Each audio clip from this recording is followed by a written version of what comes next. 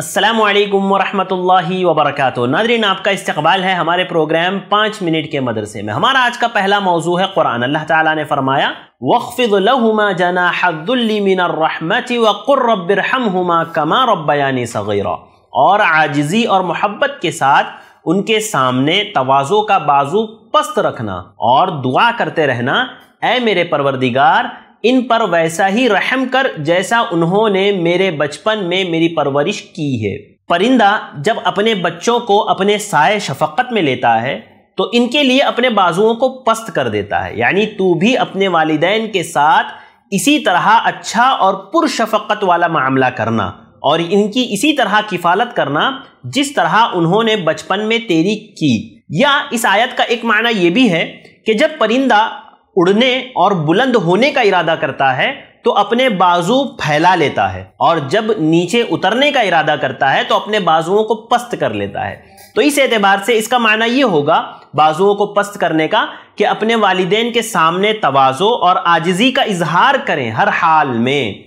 इसमें अल्लाह ताला ने जो अपने साथ वालिदैन के ज़िक्र को मुतसिल किया है, और वालिदैन के साथ कैसे सलूक किया जाए? तो याद रखिए, हमारा सलूक वालिदैन के साथ ऐसे होना चाहिए जैसे एक ग़ुलाम का अपने आका से होता है। एक ग़ुलाम अपने आका से कैसा जो है मामला रखता है, कैसे उसके साथ ताल्लुक़ रखता है? तो जिस तरह ग़ुलाम अपने आका के साथ ताल्लुक़ रखता है, वैसा ही ताल्लुक़ मुझे और आपको अपने वालिदैन के साथ होना चाहिए। उनसे अदब और इनकेसारी के साथ मुझे और आपको पेश आना चाहिए और साथ ही साथ उनके हक़ में अल्लाह ताला से रहमत व मगफ़रत की दुआ भी करते रहनी चाहिए। क्योंकि वही हमारी परवरिश का ज़रिया अल्लाह रब्बुल ने उन्हीं को बताया है। और हज़रत अब्दुल्ला इब्न उमर रदी अल्लाह तु की वह रवायत याद कीजिए, जिसमें उन्होंने फरमाया कि सबसे बड़ा गुना यह है कि आदमी अपने वालदेन को गाली दे। लोगों ने पूछा, अल्लाह के नबी अलैहि वसल्लम भला कौन है जो अपने माँ बाप को गाली देगा? आप सल्लल्लाहु अलैहि वसल्लम ने फरमाया माँ बाप को गाली देना यूँ है कि आदमी दूसरे के माँ बाप को गाली देता है और वो जवाबन तुम्हारे वालिदैन को गाली देता है। अगर कोई किसी और के वालिदैन को गाली देता है तो गोया वो खुद अपने वालिदैन को गाली दे रहा है, क्योंकि जब वो पलटा करके उसको गाली देगा तो ज़ाहिर सी बात है इंसान खुद वजह बन रहा है अपने वालिदैन को गाली देने के लिए। और याद रखिए, शरीयत ने ना वालिदैन के साथ बहुत बहुत ही अच्छा सलूक करने का हुक्म दिया। आज हमारे यहाँ लोग ये चीज़ समझते नहीं है। हत्ता के जिहाद फ़ी सबील्लाह पर भी वालिदैन की खिदमत को तरजीह दी गई। वो हदीस याद कीजिए सही बुखारी की, जिसमें एक साहबी आकर के अल्लाह के नबी वसल्लम से जिहाद की इजाज़त मांगने लगे। अल्लाह के नबी ने पूछा, तुम्हारे वालिदैन ज़िंदा हैं? उन्होंने कहा हाँ। तो फरमाया, जाओ और उनकी खिदमत करो। चलिए, मुसलमान तो मुसलमान, हत्ता के मुशरकिन, मुशरक वालिदैन के साथ भी अल्लाह के नबी सल्लल्लाहु अलैहि वसल्लम ने अच्छा सलूक करने का हुक्म दिया। हज़रत असमा की वालदा जब घर आई, हज़रत असमा ने अल्लाह के नबी सल्लल्लाहु अलैहि वसल्लम से पूछा कि मेरी वालदा मुशरिका है, वो मेरी मदद चाह रही है, क्या करूँ? अल्लाह के नबी सल्लल्लाहु अलैहि ने फरमाया, सिली उम्म की अपने वालिदा के साथ हुसन सलूक करो। नादरीन मेरे भाइयों, बहनों, याद रखो, ये वालदेन अल्लाह की तरफ़ से मेरे और आपके लिए नमत है। हरगिज इसकी नाकदरी ना करो और अपने आप को जहन्नम के मुस्तक ना बनाओ। नादरीन चलिए चलते हैं हमारे आज के दूसरे मौजू की तरफ़। हमारा आज का दूसरा मौजू है आखिरत। आखिरत में आइए, सबसे पहले हदीस देखते हैं। हज़रत अब्दुल्ला इब्न अब्बास रदी अल्लाह तु कहते हैं कि हज़रत अबू बकर सिद्दीक रदी अल्लाह तु ने अल्लाह के नबी सल्लल्लाहु अलैहि वसल्लम से कहा, या रसूल अल्लाह कद शिबत। अल्लाह के नबी सल्लल्लाहु अलैहि वसल्लम, आप तो बूढ़े हो गए।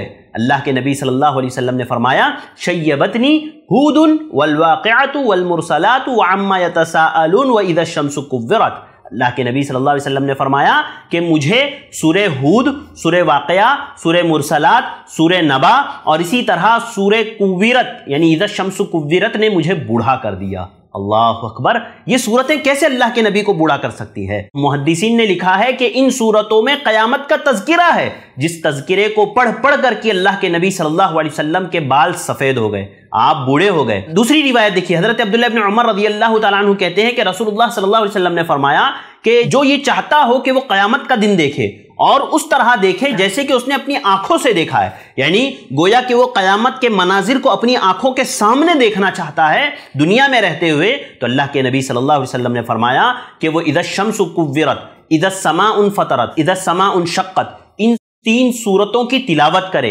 इन तीन सूरतों को पढ़े। यानी इन सूरतों में क़यामत का ऐसे मंजर अल्लाह रब्बुल आलमीन ने बयान किया है, गोया जो हमारी आँखों के सामने घूम रहा है। अल्लाह अकबर। नादरीन तैयारी कीजिए उस दौर की जिसमें हम दाखिल होने वाले हैं। उस वक्त की जो आने वाला है, वो वक्त जो हमेशा हमेश रहने वाला है जिसमें इंसान को छुटकारा नहीं मिलेगा। याद रखिए, वो ज़िंदगी दुनियावी ज़िंदगी की तरह नहीं होगी, वो ज़िंदगी दुनियावी ज़िंदगी से अलग होगी, जिसमें बहुत सारी चीज़ें हमारे सामने आएँगी। इनशाला वो इस ज़िंदगी से अलग कैसे होगी, वो इनशाला आगे के दर्स में हम लोग देखेंगे। नादरीन ये चंद बातें थी जो मैंने आपके सामने रखी। उम्मीद करता हूँ आप लोग ज़रूर इन बातों पर अमल करेंगे। अल्लाह ताला से दुआ करते हैं, अल्लाह ताला मुझे और आपको अमल की तोफ़ी अता फरमाएँ। मुझे दीजिए इजाज़त। इन फिर मुलाकात होगी कुछ और बातों के साथ। असलकम वरहमल वबरक दीन की बात आम करने में आई प्लस टीवी की मदद करें। पेटीएम या गूगल पे के लिए हमारे नंबर्स पर ट्रांसफ़र करें।